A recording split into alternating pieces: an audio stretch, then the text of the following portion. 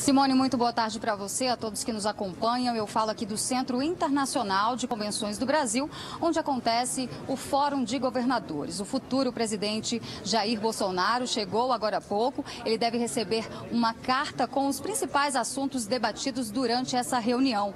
Ao todo, 19 representantes de governadores eleitos nessa eleição de 2018 estão participando com o objetivo de promover uma aproximação, apesar de nem todos os estados estarem representados representados aqui hoje, principalmente da região Nordeste. O objetivo dessa reunião é construir um novo pacto federativo e discutir também a distribuição de recursos para os estados. Veja na reportagem.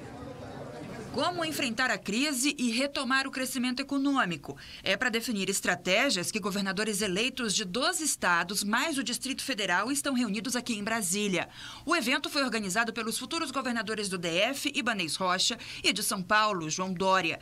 O presidente eleito Jair Bolsonaro também participa do encontro. Essa é a primeira oportunidade de aproximação entre os chefes do executivo escolhidos nas urnas.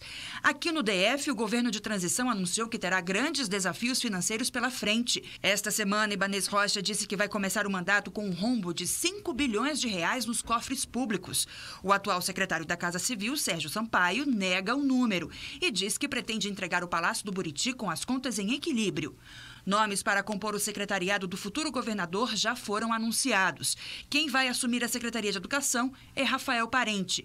Gustavo Rocha será o secretário de Justiça. Sarney Filho é o nome escolhido por Ibanez Rocha para comandar a Secretaria de Meio Ambiente. Para a comunicação do DF, Wellington Moraes. À frente da Casa Civil estará Elmar Novak. Anderson Torres será o secretário de Segurança Pública. André Clemente assume a Secretaria de Fazenda. Matheus de Oliveira será o secretário de Gestão do Território e Habitação. Para o comando da Secretaria da Mulher, Érica Filipelli. A Secretaria de Obras será chefiada por Isídio Santos. À frente da Terracap estará Júlio César Reis. Para o Gabinete de Segurança Institucional, Laerte Bessa. Estarão subordinados a esse gabinete a Polícia Militar, a Polícia Civil e os bombeiros.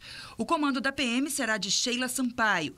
À frente da Polícia Civil, Robson Cândido. E Emilson Santos para o Corpo de Bombeiros.